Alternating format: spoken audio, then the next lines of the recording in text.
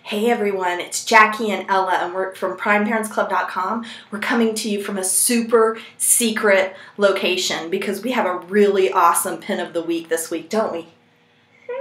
Okay, here's the deal. Our pin of the week this week comes from we don't know.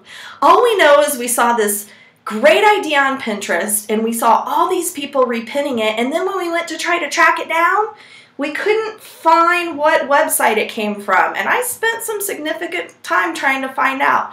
So, our pin of the week is oh, just watch this. You ready?